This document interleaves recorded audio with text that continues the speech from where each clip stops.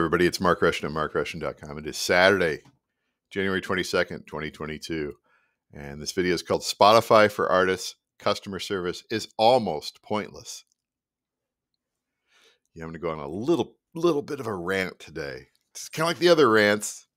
What is it with this customer service, man?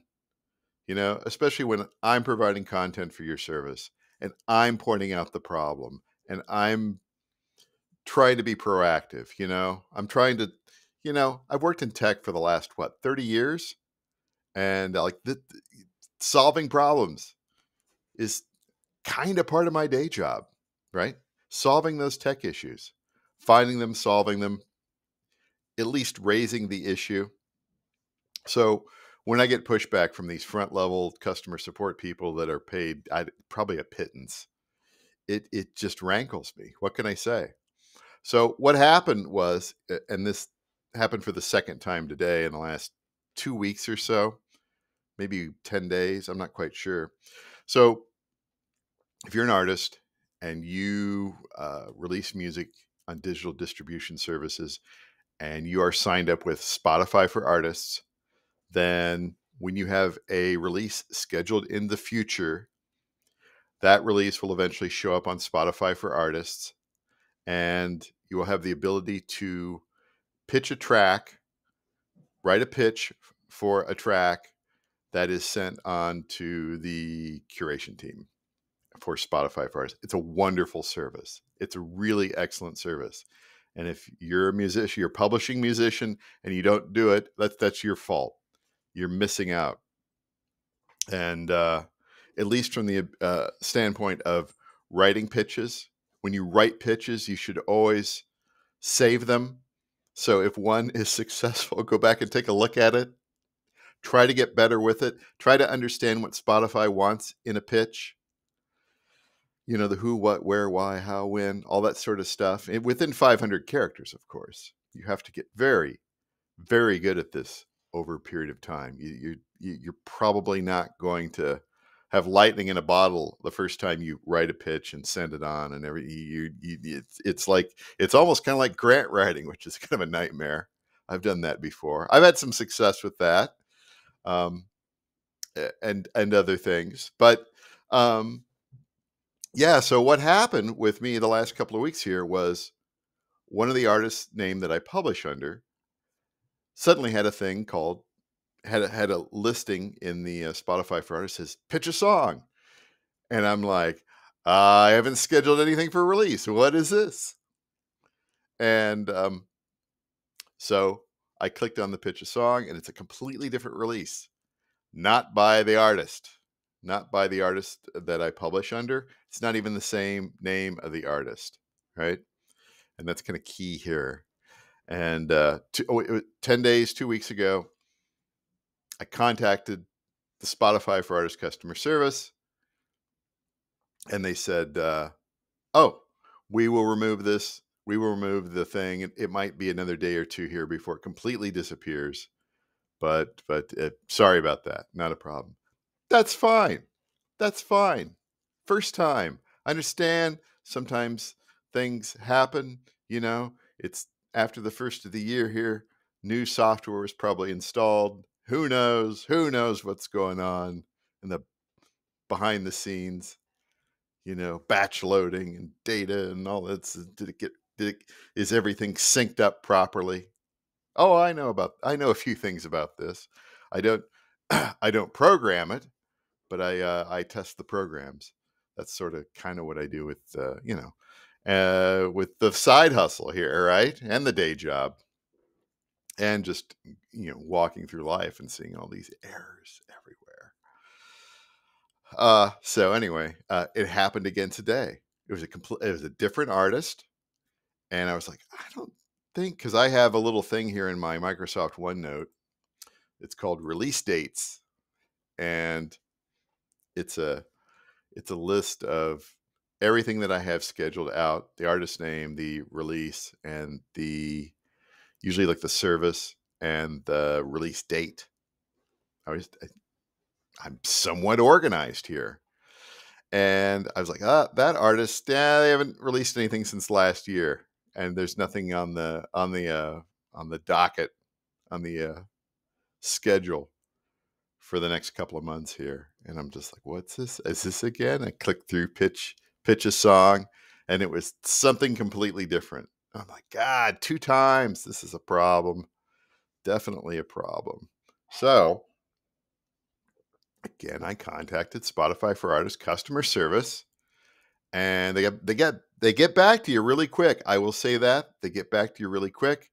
Every single time you reply, though, you get somebody else's name at the bottom. So I don't know whether is that true.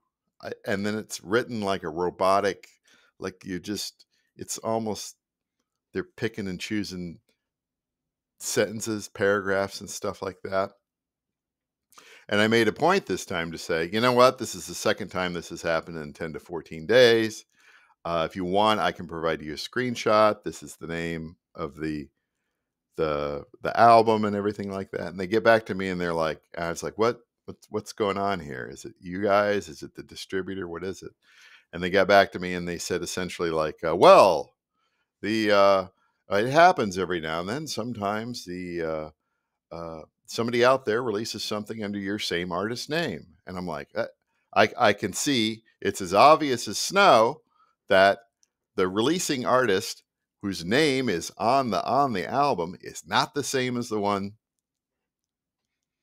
that's in my uh, label roster here with uh, Spotify for Artists. And so it's like, oh, great, you, you, you're lying to me. What is this? What am I dealing with a chat bot or something like that? I just what is this? This is unnecessary, right? And see, my whole thing is just like, well, just get it out of the way. But then, you know, I have a conscience, and and and I'm like, I this is somebody else might not be able to make their pitch or whatever, like right? Or, or what if my releases go under somebody else's account, right? So let's just let's let's open up the hood. Okay, Larry, let's open up the hood. Take a look at this here engine, right? That's what you need to do. And uh, these again, the the fr- frontline, first level customer support at Spotify for artists, they just uh, I was like they they crossed the line there. And anyway, I replied back and I said, I said, well, the last two artists that th- that this has gone on on my account. They both had releases under CD Baby, single releases under CD Baby, and also some releases under Soundrop. And CD Baby and Soundrop are like they're like sister companies.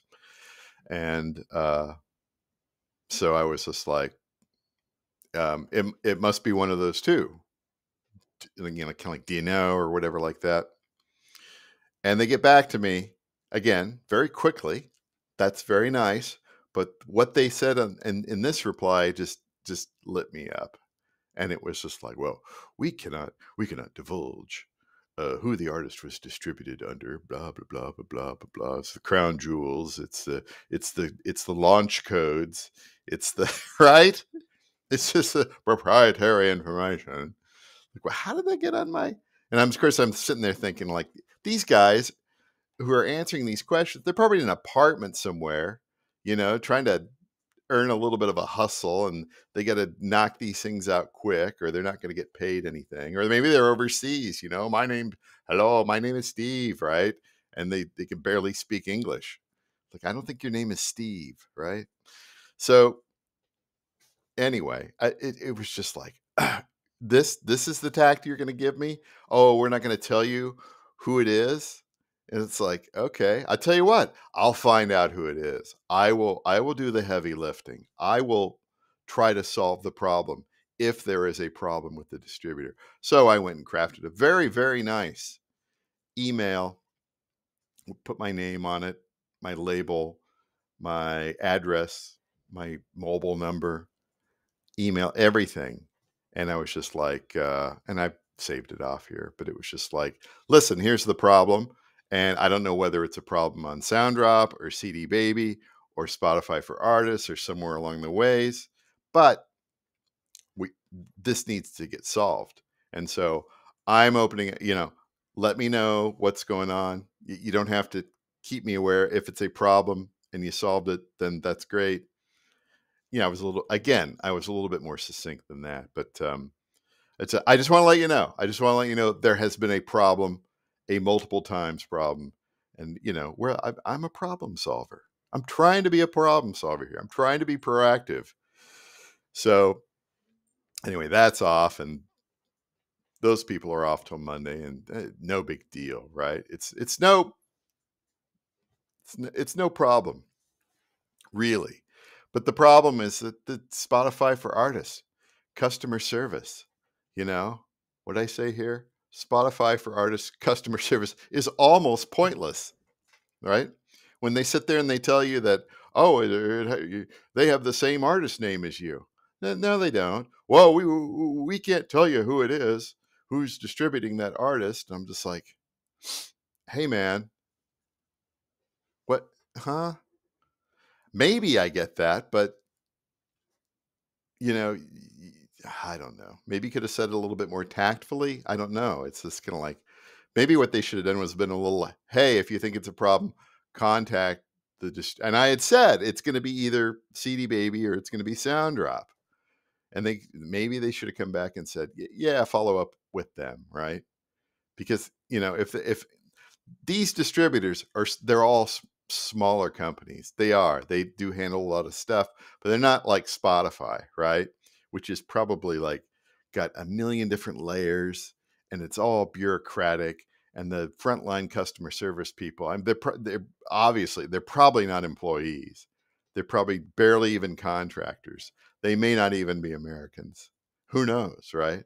I have no idea, but I, I can imagine that the techies and the executives and and the, the curators, they're all in different silos. I, I it smells just like that, right? Just smells like a big bureaucratic soup, nightmare, swamp, right? So uh, I don't know. I just uh, I'm I'm gonna let it go. I'm gonna let it go because I've had so many. I've had so many good wins this past week, or at least I think wins this past week. And uh, so I'm not going to let it get me down, but it's just like, you guys, you guys, you guys have some obvious tech problems. Let's let's let's get everybody in the room here together eventually, and let's let's get it figured out here because it's obvious. It's not just affecting me; it's affecting other artists. And you know, you try to try to help try to help other people out. That's all you can do, right? We all we all got to get along here while uh, we're on this planet, this Earth, this this uh, astral plane, right? That's right. So uh, I'm gonna go off and you know what I'm gonna do? I'm gonna go get the uh, I'm gonna go get the uh, the lap steel out and have some fun with it. So it's a good day for that. Talk to you later.